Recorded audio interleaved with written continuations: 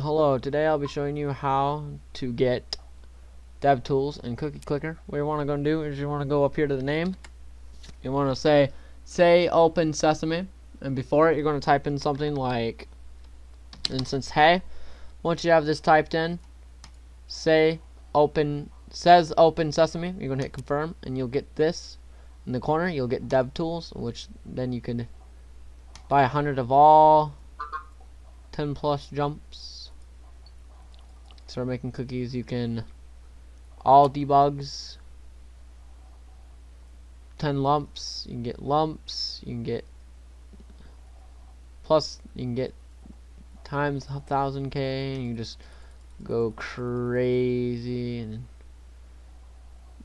reseed max specials all cheese all upgrades you can get them all going. And that's how you use that's how you unlock dev tools in cookie clicker thank you so much for watching. I'll see you in the next one